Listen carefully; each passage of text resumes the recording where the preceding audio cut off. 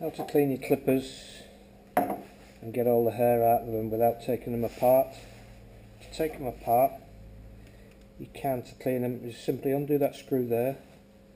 The two heads slide off backwards and you can clean all the hairs from inside. I won't do that for now.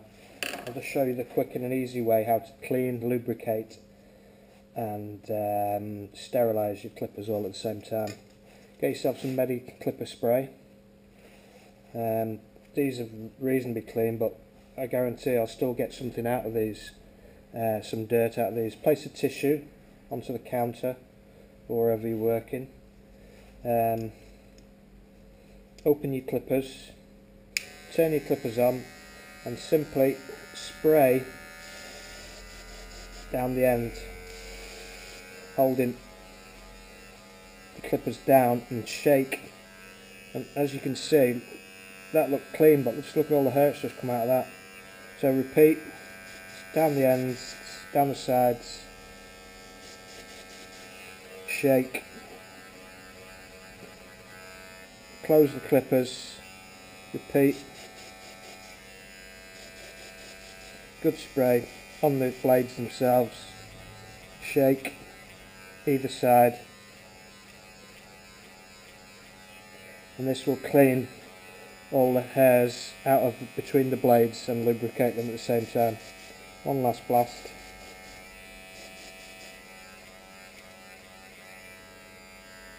Turn off. Simply wipe your counter. Simply wipe off. Done. Nice clean lubricated clippers there's actually still a bit coming out there but give it a couple of goes and it'll clear it. It's still not clear. What you can do is unscrew this screw on the lever. Take it all the way out. And as you can see in there it's not got it totally all out but if you wanted just to do a quick clean that would be the way to do it. But um,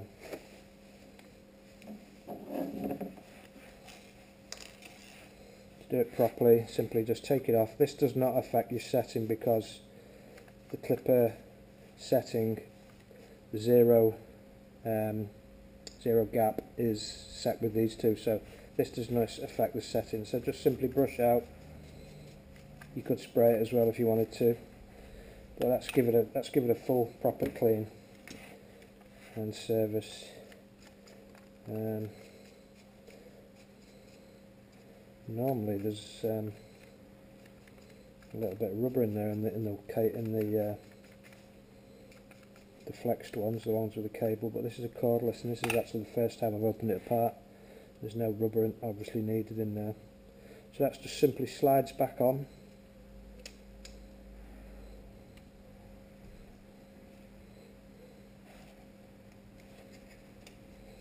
So simply.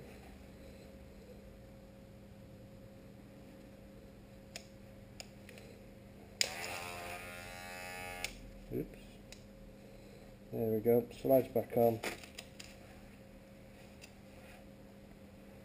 And make sure you put the little notch into where the notch goes there.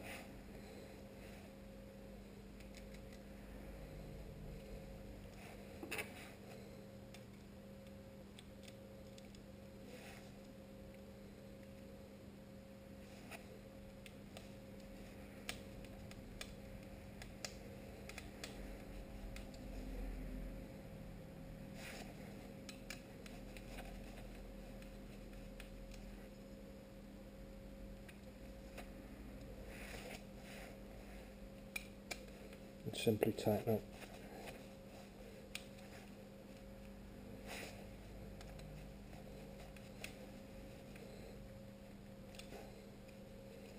As tight as it'll go without over tightening. And that's fine, you just check your gap, your zero gap and that's fine. Okay Bye for now.